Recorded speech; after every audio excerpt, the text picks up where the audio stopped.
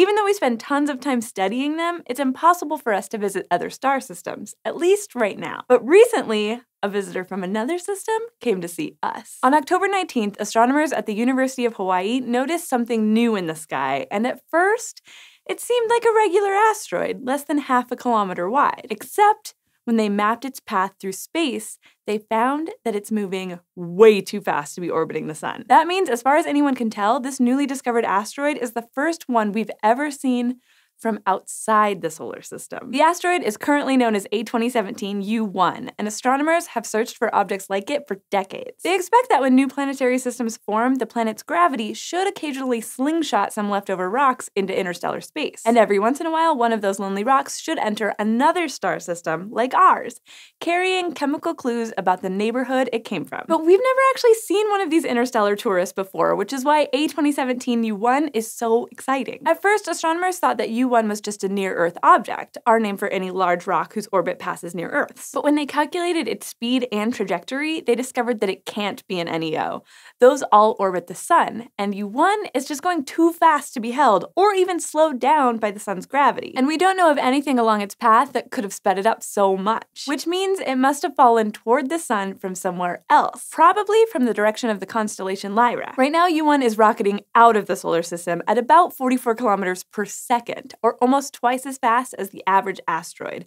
And unfortunately, it'll probably never come back. Researchers all over the world will spend the next few weeks frantically pointing telescopes at U1, hoping to learn as much as they can about its trajectory, composition, and behavior before it leaves for good. But they don't have long. After a month or so, it'll be so far from the sun that even our best telescopes won't be able to see it anymore. Now, it's completely possible that all this research will end up revealing a much more normal explanation of U1's impressive speed. After all, it was just discovered, so we hardly know anything about it. And even if it is from somewhere else, we might not have enough time with U1 to learn much more about where it came from or what it's made of.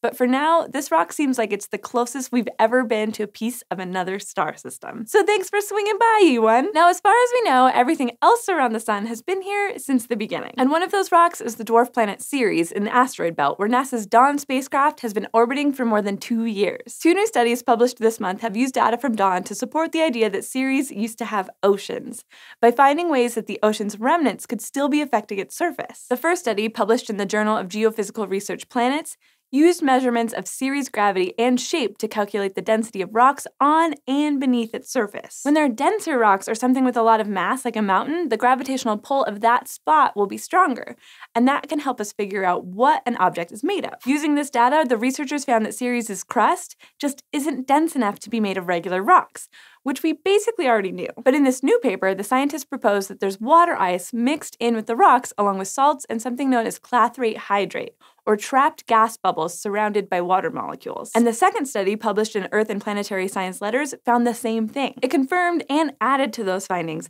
by looking more closely at how Ceres' surface seems to have changed over time. We know that harder rocks like iron tend to keep their shape better than softer or waterlogged rocks do.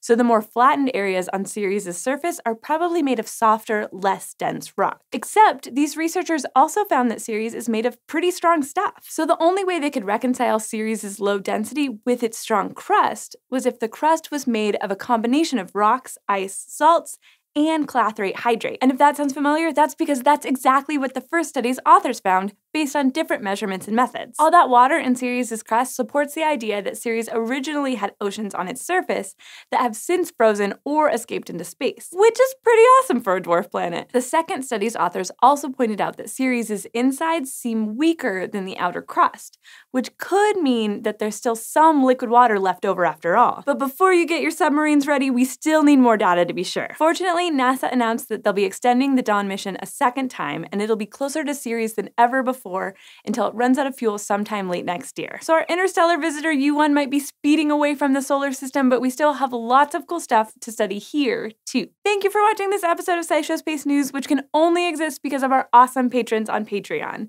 Thank you to patrons like Elena, Zane, and someone who just goes by, uh, Mike.